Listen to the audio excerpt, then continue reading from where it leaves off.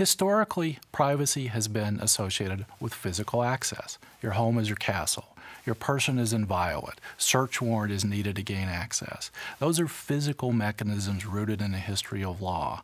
But in an electronic world, we need different stories. We have to find some different analogs that respect the privacy of individuals, provide security for their electronic personas, but aren't necessarily rooted in physical possession because data flows in a global way rapidly and easily. What we have to do is work through all of those issues and understand that they are an interesting confluence really of three things. Technology, because there are hardware, software, and mathematical issues about how we define privacy and identity and security. There are policy issues and legal issues around acceptable behavior, and that's sort of a global agreement uh, and region specific cultural differences. Uh, and then finally, there are the idiosyncrasies of humans and the fact that we have widely divergent ex expectations. Some are cultural, some are age specific. Uh, what a teenager might find acceptable to share and what I might find acceptable to share are different things. Now, that teenager may regret it when they're my age that they shared those things. That's a different story.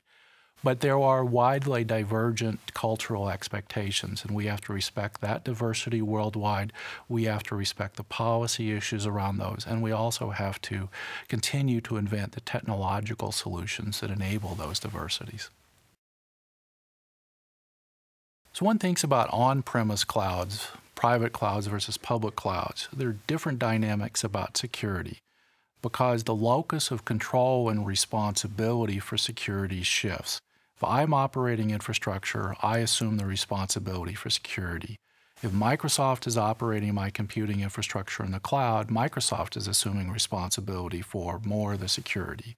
And whether I enter at infrastructure as a service or platform as a service, software as a service, there's a different mix of security responsibility that exists in each of those places. What that means in the cloud space is Microsoft takes responsibility for assuring the users of our cloud services that we are providing security.